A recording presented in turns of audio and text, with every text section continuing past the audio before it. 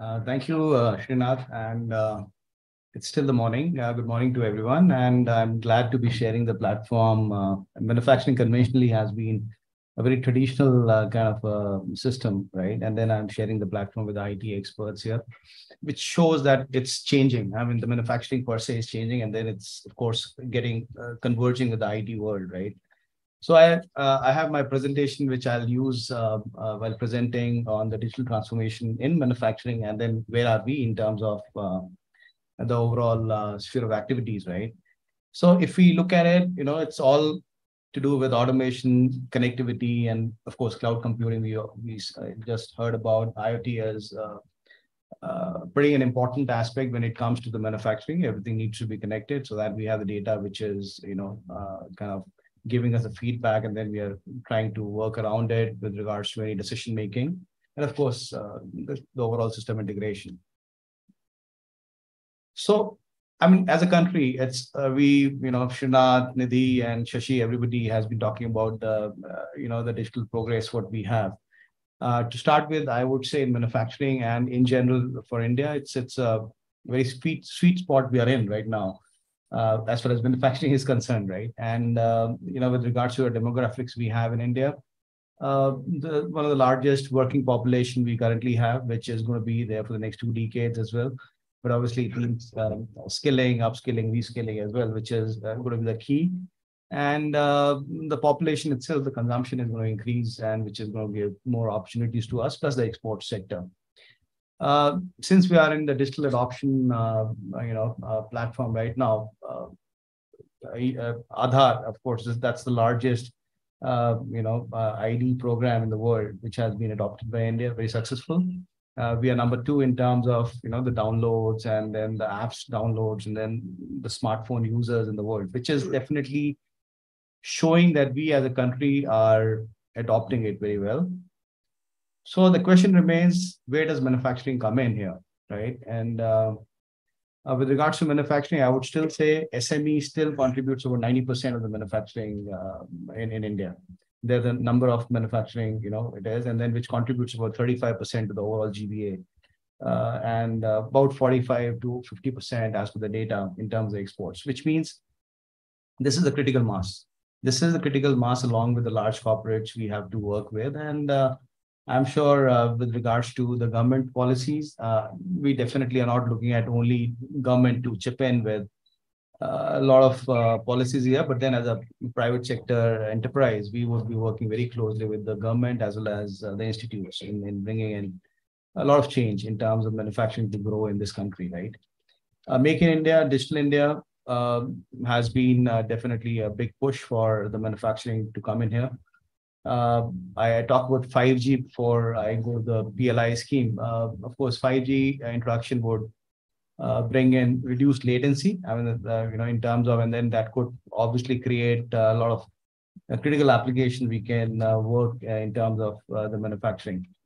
So lastly, when I talk about PLI, that's about 14 odd, you know, sectors have been introduced in this. Um, Srinath, you were right. in in stating this is more of an incentive to bring in the facilities here, to bring in uh, the large factories for exports.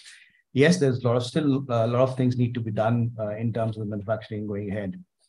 Uh, finally, when I speak about the you know the sweet spot, every uh, corporate or every you know country is still looking at another alternate to the world supply chain, and India definitely uh, stands a big good chance here. So, so if you look at the ingredients for digital manufacturing, I think uh, Shashi and Nidhi spoke about it. That's very critical when it comes to the digital infra that obviously is needed uh, for manufacturing to grow uh, in terms of you know the connectivity and the digital uh, skill development, upskilling, and then not just this, but even the reskilling is is uh, is important because a lot of changes happening across in the IT world, right? And uh, the connectivity and uh, everything. We also in the manufacturing world need to be uh, aware of it, and then we need to adopt it as quickly as possible so that we can seek the benefit out of it.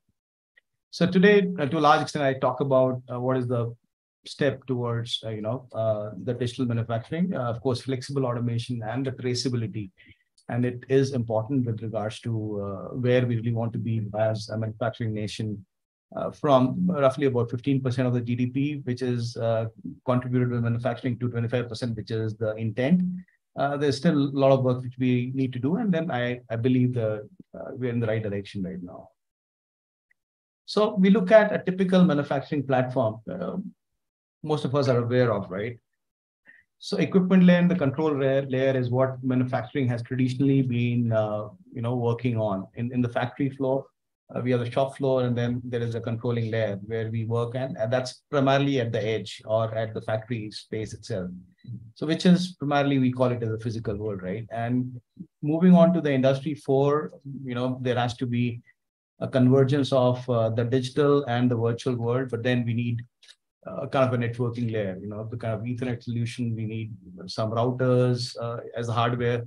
I talk about hardware part here, and and of course we we have uh, a management layer in terms of the softwares, which actually is giving uh, some kind of a decision making uh, uh, inputs to the management to take into consideration, and then of course data analysis and optimization, which is to do with cloud computing, AI, and this thing. This is where I believe uh, you know uh, the convergence has to really happen between the manufacturing and uh, the digital.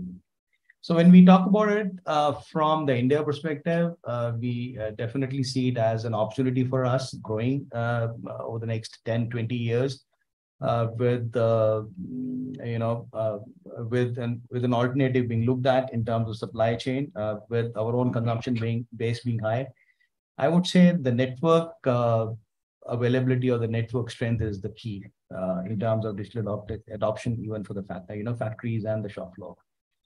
Uh, 5G we already spoke about, but then uh, to have the affordable, strong network in tier two, tier three, and the villages is important because our SMEs are or MSMEs are even actually spread across. We you know we obviously we're looking at the industrial clusters now, but then a lot of these uh, MSMEs and SMEs need to be catered with uh, the technology with regards to um, uh, you know the network as well.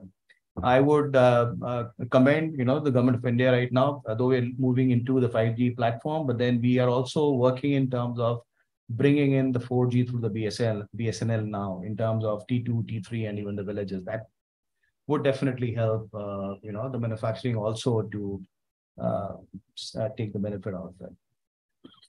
Another important aspect, uh, of course, is we're looking at the, you know, a lot of industrial apps right now. Primarily looking at the AR and VR, which is still the very nascent stage in terms of manufacturing. We all talk about it, but in term in, in the manufacturing sphere, but then the adoption is still very, very slow. You know, I mean, we, we spoke about it uh, before the session, uh, but then the things are changing. Yes. Uh, you know, we're looking at AR and VR tools for operation and repair, maintenance manuals, uh, you know, uh, trainings uh, to the workforce at the shop floor. Uh, predictive maintenance is something which is uh, which has been there for quite some time. That was on the hardware side, but then now we're actually you know bring it closer to the digital by using the ML, machine learning algorithms and all, and that's where you know the uh, the collaboration with, between the IT and the OT will be the key going ahead. And of course, uh, data centers, as uh, you know, Shashi just pointed out, there, the uh, you know, there's a lot of data being generated, a lot of data need to be uh, looked into, and the data centers are coming in, but then they're high energy guzzlers, right? And we need to have some kind of mechanism to at least to start with see where is the energy being consumed in the factory, in the you know uh, space wherein we're working. So and then of course that could really help in even improving the overall uh, total cost of ownership for the factory as well as the commercial spaces. So with regards to uh, we becoming the nation who is going to be exporting out of India, uh, not just consuming in India, which is currently the case, I think the quality is going to be the key. And uh, right now, even in high-end manufacturing, we see that it is still very much dependent on manual, uh, you know, quality checks. So we we need to go into the auto optical inspection uh, area. We definitely have the hardwares, uh, you know, the multiple agencies or areas wherein we, we have the created the hardwares, but then there is no strong interface right now in terms of you know lighting or maybe a camera you know or or a software which is uh, you know going to be there which would definitely help. And that's where you know probably uh, the institutes and the corporate and even the government can really play a big role. And of course uh, going ahead it's going to be the ai usage and uh, the overall ecosystem development needs to be taken care of. So having said that, uh, since we are going to be connected, uh, we are looking at uh, digital, which is nothing but you know connecting all your manufacturing processes and systems, and uh, getting the data on at the, um, um, on, at the real time. Uh, there is a definite need of uh, having the secure networks, right? There has to be strong cybersecurity regulations. we talk about if I if I only consider about the automation. Uh, from discrete automation or discrete manufacturing to the process manufacturing, if we are going, there's a real need of uh, securing the networks very strongly. And that's where, you know, I think the government of India has to uh, play a bigger role. And then all of us, uh, you know, from the user perspective, need to uh, adhere to it. Uh, automation, uh, yes, it's been it's been happening in the SME as well as the large corporates, and we need to look at the low cost automation, of course. Uh, and then that's where the uh, corporates like us and the premium institutes, not just the premium, but then we look at even the T2 uh, uh, level institutes to bring in some kind of integrated solutions for specific industry sectors, which can really help, uh, you know, growth. And then, uh, of course, IoT, industrial IoT, of course, this whole structure is not really in terms of the priority, but then you know, all these aspects are important when it comes to the digital adoption in the manufacturing. And uh, I see this I'm taking from the countries outside, not in India. We've seen a lot of these countries which have really grown in uh, the manufacturing over the last 20, uh, two decades and all, have really incentivized the IoT adoption and even the manufacturing, um, uh, you know, in terms of the automation to be uh, brought in not just for the larger uh, enterprises, but even for the SMEs and MSMEs. So this is where probably we need to work a little more harder in terms of uh, bringing, uh, you know, a more maturity to this level.